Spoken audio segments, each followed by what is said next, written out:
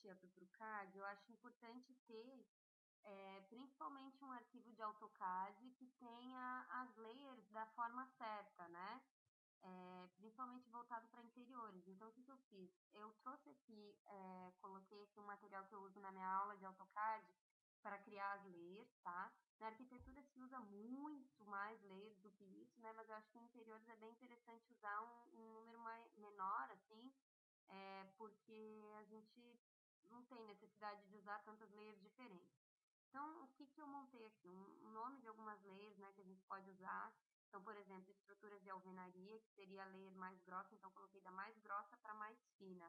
É, depois, paredes de gesso, que seria, é, então, é, a alvenaria seria uma parede mais grossa, parede de gesso um pouquinho mais fina. Depois, móveis cortados, né? Então, todos aqueles móveis que estão na altura mais ou menos de 1,20, 1,50 de altura, que é altura que acontece a planta baixa, ela tem uma layer um pouquinho mais grossa que as dos outros móveis, né? Então eu criei uma layer para móveis cortados, a outra para móveis em geral e a outra eu botei para móveis distantes, né? É, eventualmente numa vista, quando a gente tem um móvel que está lá no fundo, né? Então ele aparece, mas ele não aparece tão é, em evidência assim. Então eu criei essa outra que é móveis distantes aqui para poder usar. Depois eu criei essa aqui que é cotas, linhas de chamada e textos, que eu gosto bastante de usar a cor vermelha para ela, é, porque eu acho que é legal a cota se, se diferenciar. As achuras, né, objetos decorativos, piso, que é a layer mais fininha, né, aquela que a gente usa em cinza, assim, só para humanizar um desenho, desenhar um vaso de flor, um travesseiro, uma almofada, né, alguma coisa que é interessante ter no desenho para humanizar, para a gente entender para que, né, o que são aqueles objetos mas que tem que estar bem fraquinho para não chamar muita atenção. Depois eu coloquei mais duas opções de projeção. Projeção em cima, que seria aqueles móveis aéreos, que é o que a gente geralmente usa como projeção, aquelas coisas que estão mais é, em cima, né, acima de 1,50, que não está sendo cortado, está acima, né? E a projeção embaixo, que seria, por exemplo, né, um puff que está embaixo de um móvel, né, ou até mesmo a cadeira, quando entra embaixo da mesa, é legal a gente projetar onde é que ela tá para saber se vai bater no pé da mesa, né? Então, detalhes que só num projeto de interiores que realmente a gente vai ver, né? Num projeto arquitetônico a gente não vê, mas em interiores é importante, né? A projeção embaixo a gente pode usar também é, quando a gente vai fazer um móvel com as portas fechadas a gente não quer fazer duas vistas, quer fazer só com as portas fechadas. Aí a gente pode desenhar com essa layer de móveis embaixo é, as prateleiras que tem dentro. Então, beleza, aqui eu fiz uma coluninha com as cores, né, que eu iria usar, e o número da cor para ficar mais fácil de entender e até de configurar a layer na hora do PDF. Tipo de linha, né, então linha lisa e linha tracejada só os últimos, e a espessura da linha. Então, é, eu queria criar porque eu acho que é mais fácil de entender a exportação do SketchUp para o CAD também.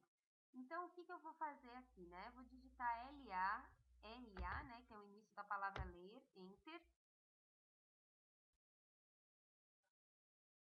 Vai abrir uma janelinha, está um pouco lento meu computador, que eu estou com muita coisa aberta.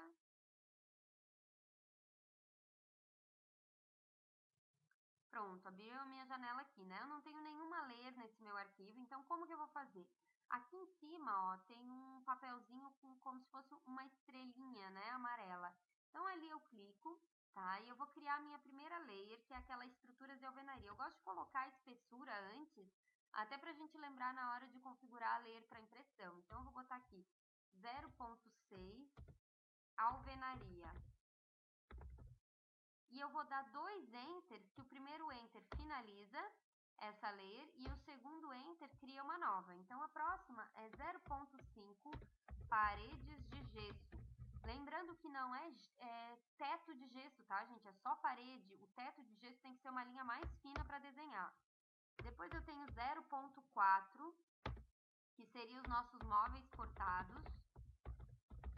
Que são aqueles móveis, né, que estão a 1,50, aparecem cortados na planta baixa, ou eventualmente num corte, né, quando a gente vai fazer um corte, é, uma elevação, um corte, não sei, alguma coisa que esteja aparecendo assim, eu posso botar essa linha como uma linha mais mais grossa, né?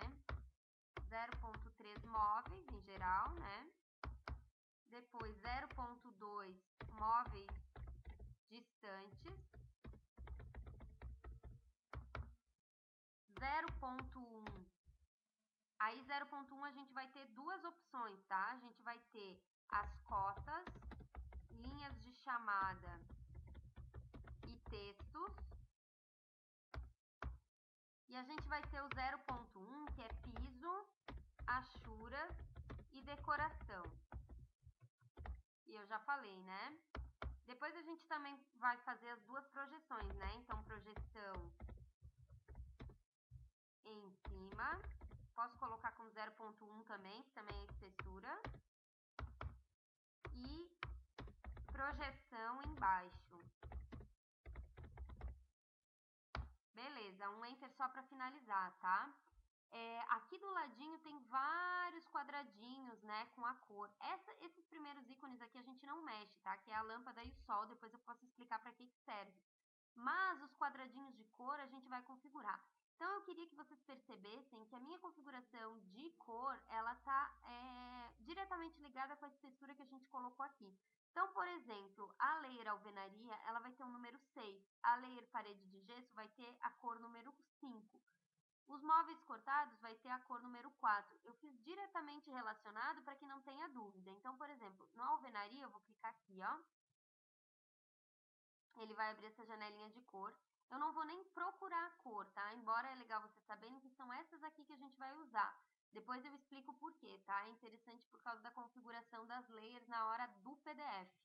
Então, alvenaria, eu vou escrever número 6, Enter, que é o mesmo número que está aqui depois aqui da espessura, né? Parede de gesso, eu vou clicar aqui, 5, Enter. Móveis cortados, 4, Enter.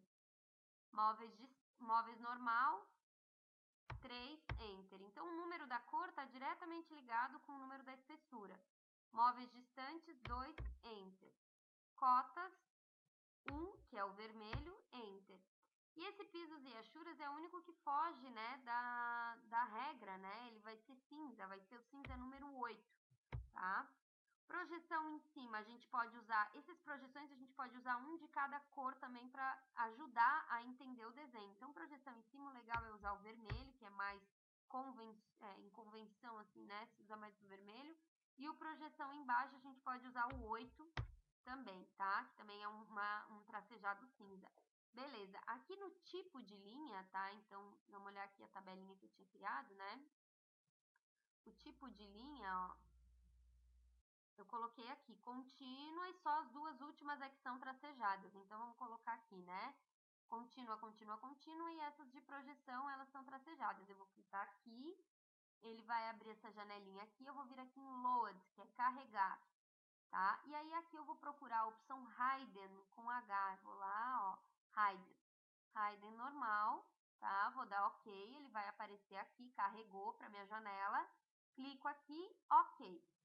No projeção embaixo, eu vou colocar um tracejado um pouco diferente, que é para diferenciar. Então, vou vir aqui e vou escolher aqui no carregar o Raiden 2, que é uma outra opção de Raiden, ó. Tá? Ok, ok. Beleza, já... Opa, não foi, peraí. Aqui, Raiden 2, ok. Beleza. Agora, eu vou configurar as espessuras. Eu posso configurar aqui ou eu posso configurar direto na hora da impressão, né? Aqui já é legal porque já deixa, é, né, caso eu tenha alguma dúvida mais para frente. Lembrando que as espessuras são as mesmas que estão aqui. Então, eu vou clicar aqui nessa linha riscadinha aqui, é, lisa que tem aqui, né? E ele vai abrir essa janela. Então, aqui eu vou procurar o 0.60. Ok. Depois 0.50. Ok, que são as, as espessuras que estão aqui, né? 0.40 0.30, depois 0.20, 0.1 e as próximas todas vão ter 0.1, tá?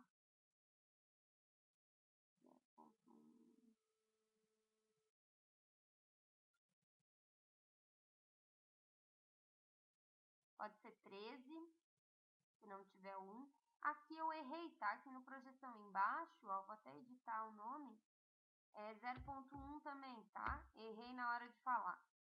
Então, aqui 0.1, todos eles 0.1 os últimos.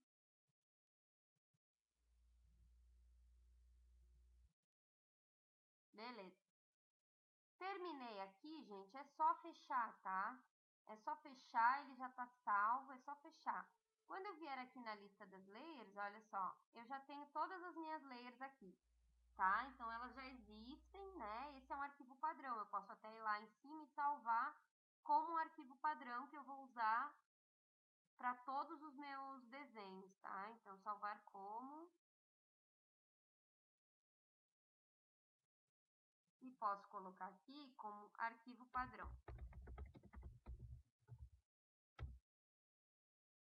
Ótimo.